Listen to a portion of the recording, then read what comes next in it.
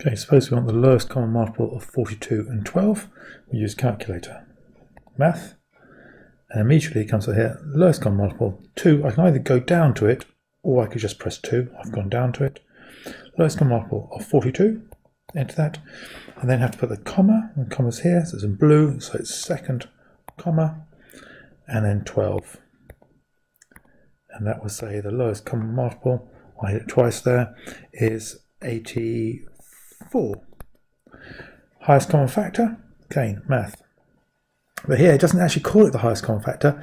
It's got the greatest common, and it uses D for divisor, a number which goes into it.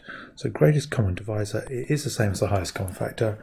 So press 3, and then we've got 42. Again, second, the comma, and 12, and that gives us 6. So we've got 6 is our answer for that. We can obviously look at the prime factors and see where we are. So if we take 42 and turn that into our prime factors, go down here until we get prime factors, enter that. 42 is uh, 2 times 3 times 7, and we wanted 12. I know we know what it is. Math I can just press 4 this time because I know where it is. That is uh, 12 is 2 squared times 3. So I quite like putting into Venn diagrams. And what's shared? Well, one 3 is shared, so that goes in the middle there. And one of those 2s is shared, so that goes in the middle. What's 12 got left? And 42 got left. 12 has got a 2 left there. And 42's got I've used 2 and a 3, so it's got the 7 left.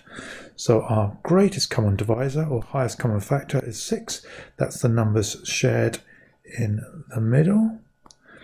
And the lowest common multiple is all of them times together. Well, obviously this lot comes to 42 because 2 times 3 times 7 is, 6, is 42.